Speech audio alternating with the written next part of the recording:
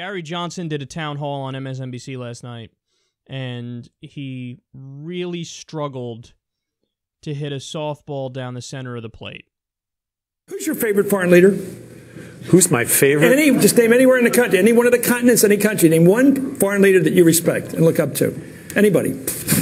Mine was Shimon Peres. No, no, okay, I'm talking about living. Go ahead. you got to do this anywhere, any continent.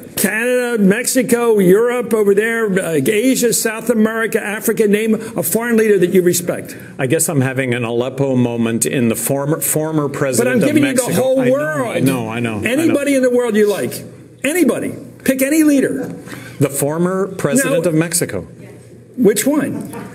I'm, I'm having a brain. I'm Well, name a brain anybody. Zedillo. Fox. Okay, who's your favorite foreign leader? Get him off the hook. Name a foreign leader Fox. you He was, respect. he was terrific. Any foreign leader. Uh, Merkel. Okay, Merkel. Okay, fine. Save yourself. Can't argue with that. Yeah, that that was pretty sad. you could almost see the wheels turning, and he's like, "Gary, think of a foreign leader. Anyone will do." And he's like, "Ah, the former president of Mexico." he's like, "Which one?" Um, see what had happened was, and then he's like, "Fox, Fox, Fox, Fox." Okay, he is so lucky, so lucky that Chris Matthews didn't go. What's his first name? Bill Weld would have had to jump in again and be like, Vincente, Vincente. That's what it is, Vincente. And Gary's like, oh yeah, totally. No, I was just about to say that, but then he beat me to it. What am I gonna do? Don't. I hope nobody's watching this. So people are calling this another Palin moment. Some people who are big time defenders of him are like, that was a gotcha question. That was a gotcha question. Name your favorite foreign leader. Anybody? He's like, okay, no, just name now. Just name any leader. he's like, you move the goalpost for him. All right, who's your favorite uh, foreign leader, living foreign leader? And then he's like, he's struggling with it. He's like, okay, just name any leader. he's like, yeah, mm, mm, yeah.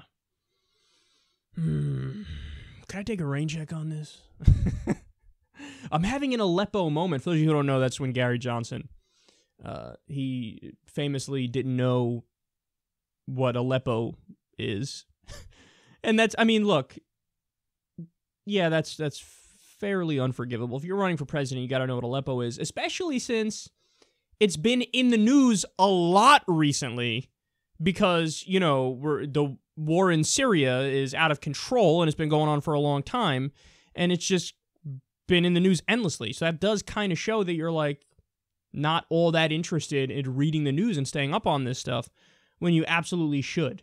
Now, again, I don't want anybody to misunderstand me because, I mean, i in doing this segment, I feel like a lot of people who attack Gary Johnson, they're just doing it to try to boost up their shitty candidate being Trump or Hillary. I hate both Trump and Hillary with a burning passion. And believe me, Trump would have struggled with that too. He didn't he famously didn't know the difference between Hamas and Hezbollah. You can't do that in the primary, man. That that's what happened. He didn't know the difference between the Kurds and the Quds Force. So he's I I would bet that Trump is even more ignorant than Gary Johnson on this stuff. But yeah, I don't give Gary Johnson a pass because uh, like your supporters, no matter what you said there, it's not like your supporters are going to go digging with a fine tooth comb through whatever leader you pick and say he's not sufficiently libertarian, Gary. So why'd you pick this person? I mean, you could have went with Hollande from France. You could have went with Theresa May from the UK. Dude, even if you said David Cameron, I mean, he's not the prime minister anymore, but people would have given you a pass. So it was, yeah, he was just, it wasn't that long ago he was in there. Like when Brexit happened, he's like, oh, I must step down. Uh, anybody, Justin Trudeau. How many times has fucking Justin Trudeau been in the news in a positive respect in the U.S.? And you could say, okay, you know what? I like Justin Trudeau. I really don't agree with him on economics because he's leftist.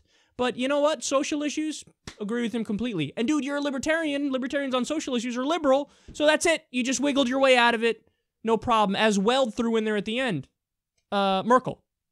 How about that? Instead, he's uh, the former uh, pr- president of Mexico, whose name I don't know. And by the way, that guy was a disaster. so that was a terrible. It's. I think that was honestly the only foreign leader he could think of at that moment. So, uh, yeah, Gary, look, man, I dislike you much less than I dislike Trump and Hillary, but you got to get your shit together, dude. You got to do it. You- Like this isn't that's you're running for president. You have to have like an answer easy to that, and you really didn't.